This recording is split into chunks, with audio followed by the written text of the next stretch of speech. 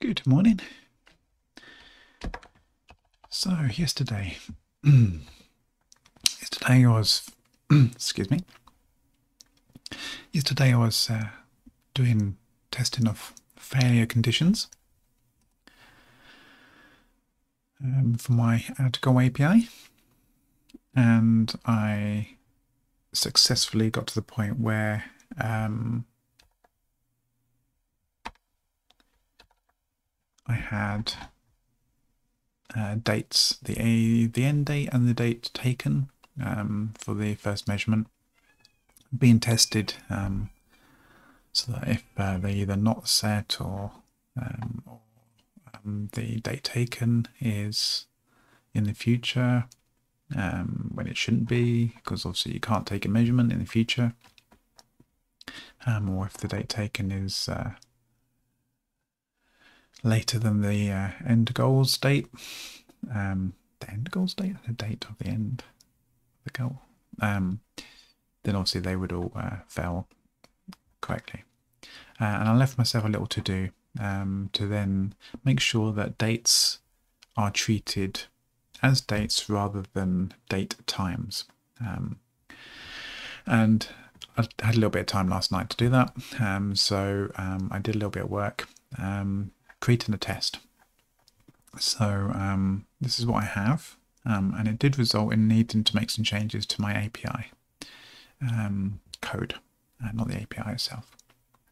Um, so I basically create um, an end date, which is um, today's date without any um, hours, minutes, seconds, and UT, uh, UTC format. And then I create a date taken, which is actually just 12 hours later. Um, and that's so I can check to see uh, when I do the um, the checks for whether end date, uh, the date taken is after um, the end date, it should be the same. It shouldn't fail um, just because it's 12 hours later um, that we're passing in the timestamp for. Um, so it was, it was, pretty easy stuff. The usual stuff we've got like uh, we're creating a new role, uh, a new row, um, and we expect it to work, passing in the end date. Um, and I found out that I need to truncate um,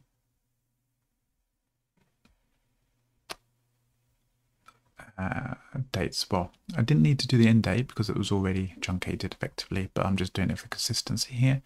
Um, but when doing the measurements, I need to make sure that the um, the date expected to be inserted into the measurements is actually a date rather than a date time.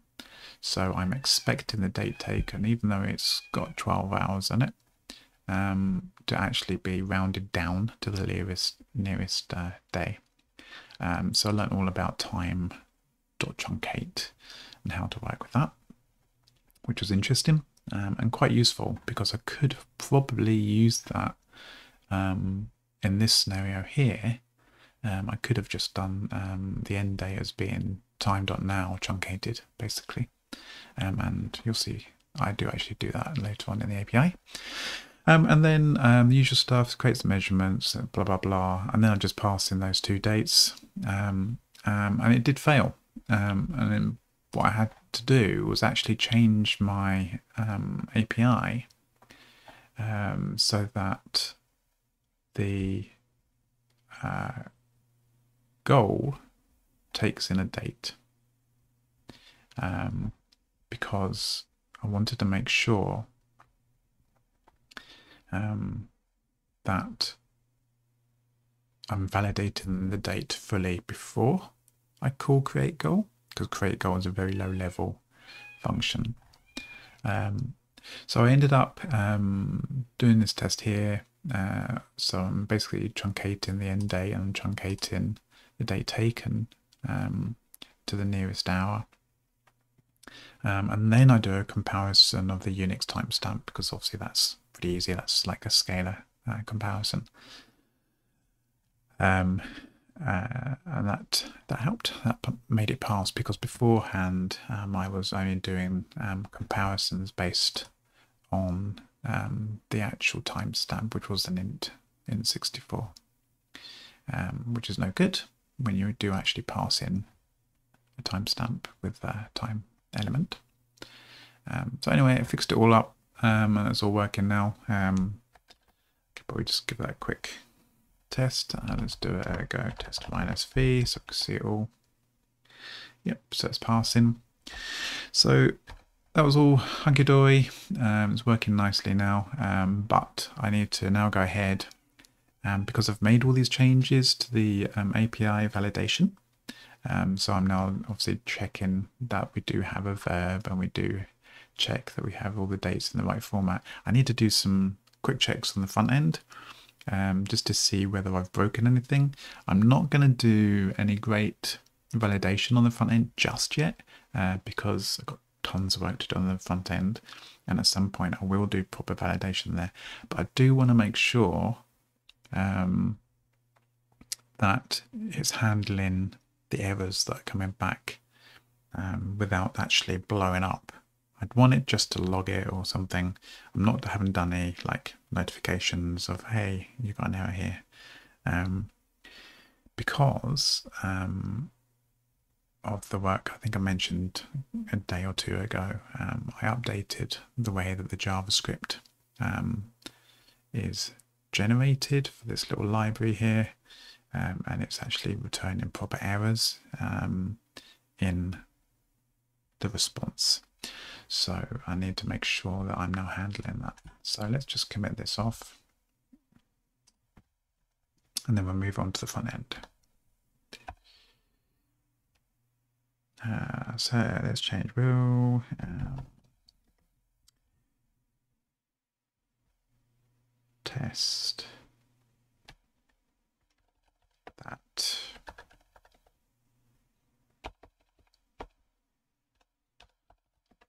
Go end date.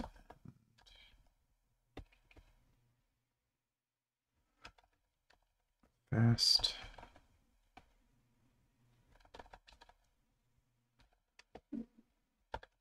Taken. Treated. That's dates. That. Times. That'll do.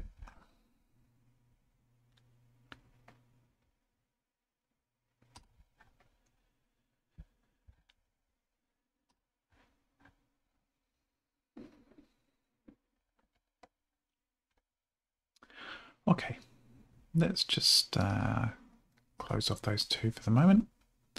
Um, and now we will switch to working on the client.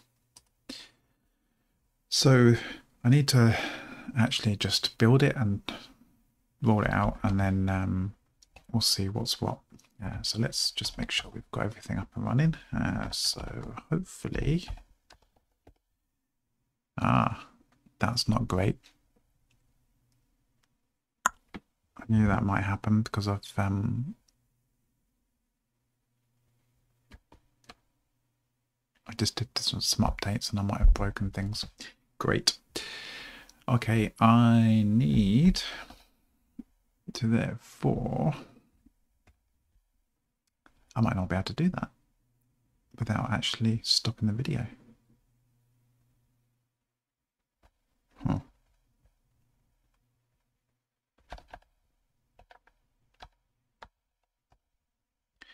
Let's see what the status is of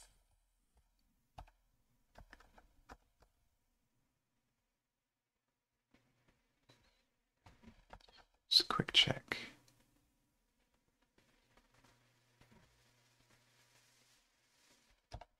Interesting. Okay.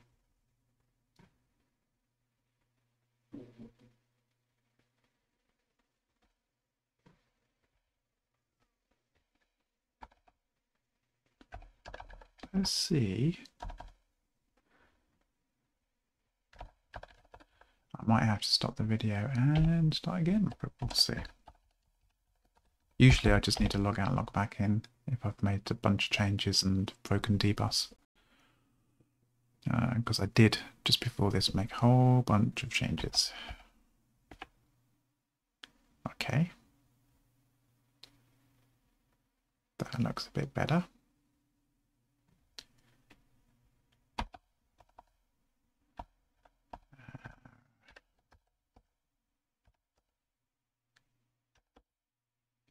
Let's just check. Daemon service. Okay. All right, let's just double check that then.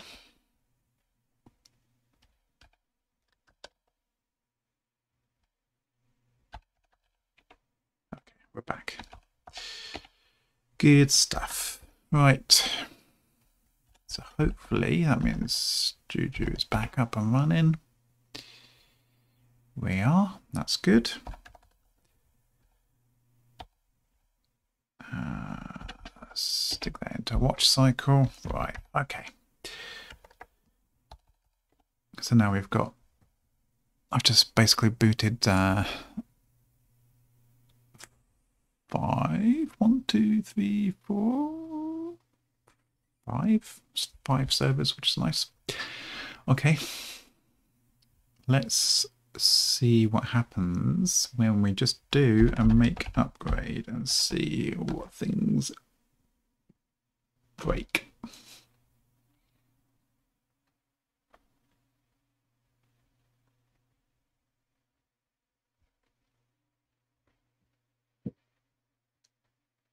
That's doing the thing. That's good.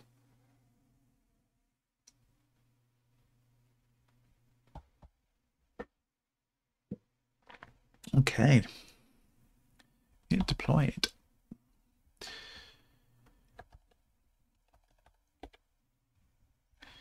Let's see what happens. Have we got any problems? I'll just stick uh, console on. Yeah, yeah, yeah. Get rid of the warnings. I only want to see errors and stuff. Okay, let's uh, see if we can create a a new one. Uh, test app 10 times. Yeah. Right, so this should just work without any issues in theory. Um, and our first measurement is 1 and it's today. So this should just work. It did. Cool. Let's create another one um, and not pass anything in. So hopefully this will just log something. Ah, of course I do have some validation. That's interesting. Okay. Uh, we'll do wobble because I think we've already got a wobble and we will make the date taken be in the future, which should fail.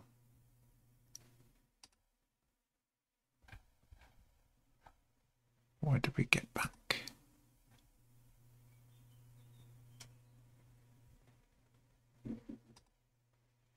Measurement date taken should not be in the future. Perfect. That's exactly what we want. That's great. So what's going to happen in the future is I'm going to be catching those. Um, at the moment, I'm not at all.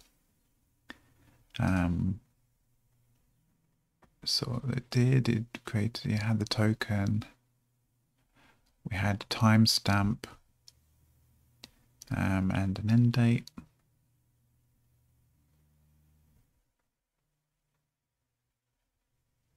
So,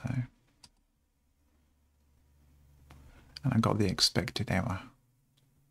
Good stuff. Oh well, that was quicker than I thought it was going to be. I I really did think I was I had broken everything um, because I didn't really know whether I was going to get proper errors back or not.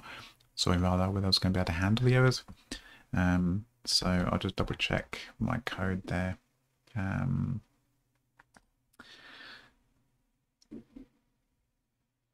Let's make sure this is actually up to date.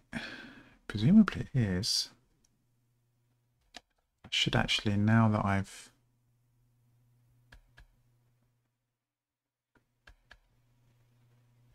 Good point.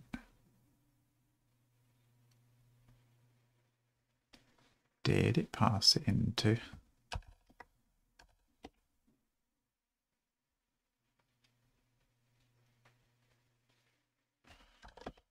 Actually double check the timestamps on that. I need to make sure that the um oh it doesn't didn't change. Okay, yeah, the only thing that I actually changed um, was to download the template for the Go server so that it actually generates errors. Um, the JavaScript side is unchanged. There's nothing nothing different there. Um, so yeah. So what is? Uh, let's double check how that handles the errors now. So add goal.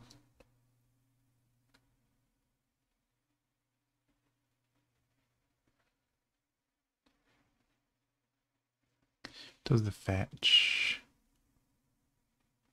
Yeah, if there's an error, we throw an error. That's good. That's exactly what I want.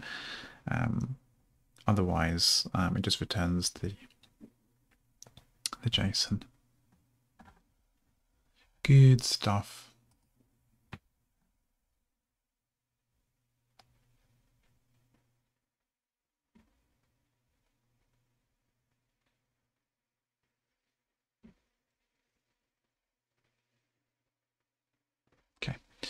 Well, that's all I really wanted to do today.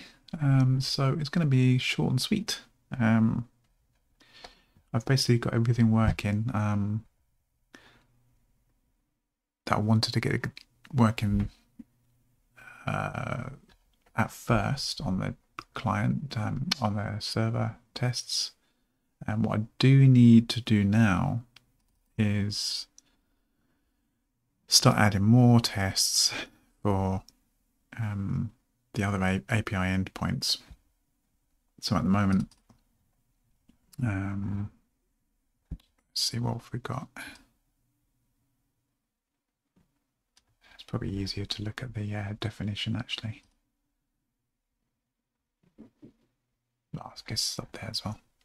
Um, so at the moment we've just covered add goal um, and we already have login um, covered. What I do need to do now is make sure that edit goals works in the same way because at the moment um, there's no validation in there. Um, so I need to basically refactor and port in the add goal validation into edit goal um, somewhat. Um, there's slight changes there. Um, and I do then need to make sure that update goal um, takes in a end date as a date, um, just like add goal now, um, just like create goal does. So create goal now takes time in um, and just passes that straight through.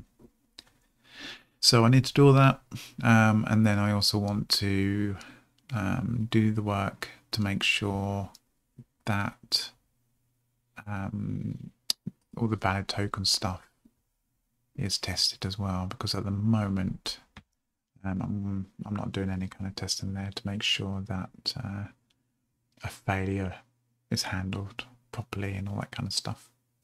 Uh, but uh, I need to get on with my day today, um, so I'm not going to do that. This will be short and sweet. Um, until next time, take care.